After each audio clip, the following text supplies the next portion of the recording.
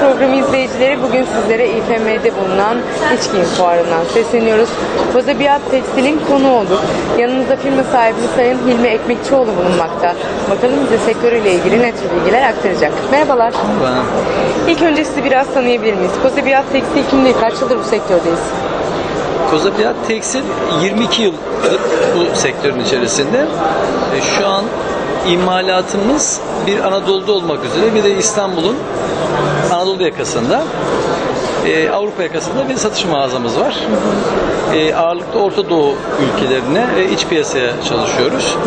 Ama muhtelif Avrupa ülkelerine gelen müşterilerimiz var. Çok güzel. Peki ürün yelpazemizde neler bulunmakta? Aslında ürün yelpazemiz bayağı geniş. E, Çocuk, bayan, erkek, pijama, iç giyim hemen hemen aklınıza ne geliyorsa var. E, Sateninden tutun, sütyenine kadar, çorabına kadar e, bir iki kalem dışarıda fason yaptırmakla kalıp diğerlerinin tamamını kendi bünyemizde yapıyoruz. Harika. Biraz da ithalat ve ihracattan bahsetmenizi istiyorum. Dediğim gibi Avrupa çok nadir ülkemiz var, nadir müşterilerimiz var. E, Polonya, efendim, e, Hollanda'ya çok kısmi bir müşterimiz var. Cüzi rakamlarda dönüyoruz Avrupa'da ama ağırlıklı Doğu blok ülkeleri, Rusya'dır, Ukrayna'dır, Bosna'dır, Sırbistan'dır.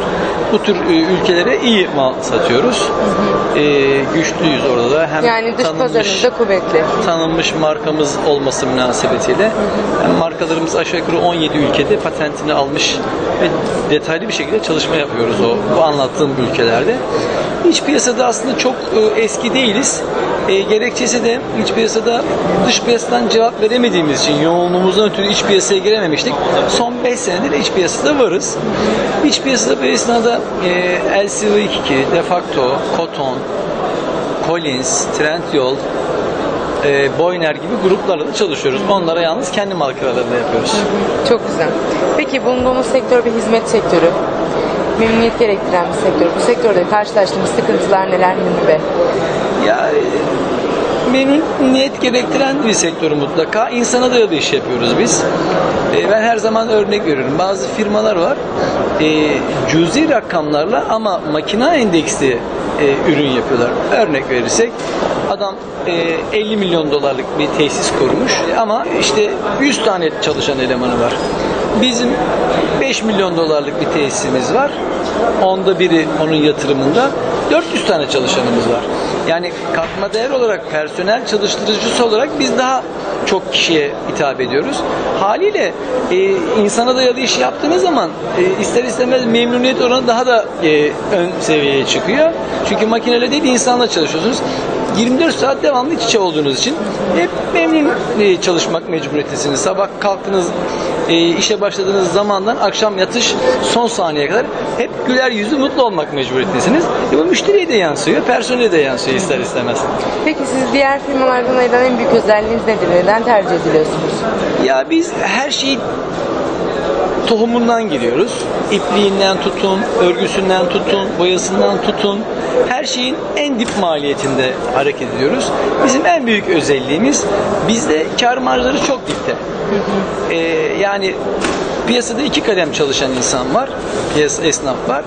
Ee, bir kar marjını yukarı tutup ama adetlerde düşük olan bir, ikincisi de e, kar marjı çok düşük ama adetlerde devamlı 12 ay çalışan firma. Bu ikinci maddeye giriyoruz biz.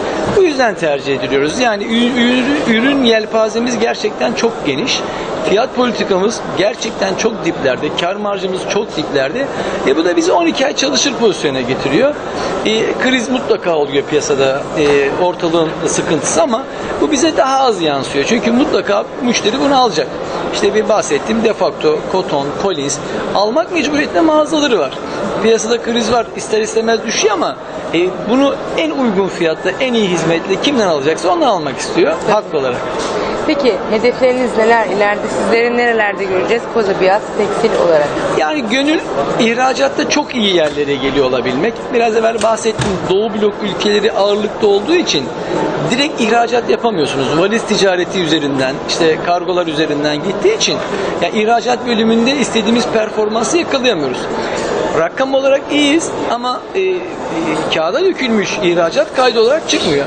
Bizim gönlümüz Avrupa'ya daha çok hizmet veriyor olabilmek. Peki buradan son olarak izleyicilerimize ve müşterilerinize vermek istediğiniz mesajınız nedir? Ya biz her zaman şunu söylüyoruz. Ne iş yaparsanız yapın. Biz bu işin içerisindeyiz. Severek yapmadığınız müddetçe inanın sevdiğiniz zaman o sevginiz ürüne yansıyor. O kalite, o hizmet her zaman diyorum e, rızkı veren Allah. Biz berekete inanan bir milletiz. Firma da böyle. Biz yere düşen en ufak bir fiyonk tanesi veya etiket tanesi maddi değeri olmayan bir ürünü yerden alıp kaldırdığımız zaman bunun çok iyi bir değer olduğunu düşünüyoruz. Bu ahvalde çalıştığımız için severek yapıyoruz. Severek yaptığımız için de müşterilerimizden memnunuz. Tahmin ediyoruz müşterilerimiz de bizden çok memnunlar. Vermiş olduğunuz bilgilerden dolayı ve keyifli sohbetinizden dolayı çok çok teşekkür ediyorum. Rica ederim, ben teşekkür ederim. Tekstil olarak başarılarınızın katlanarak teşekkür devamı ederim. diliyorum Hilmi Bey. Çok sağ olun, çok teşekkür ederim. Evet işte işimiz programı izleyicileri. Koza Biat Tekstil'den şimdilik aktaracaklarımız bu kadar. Kaliteli ve güvenin tek adresi diyoruz.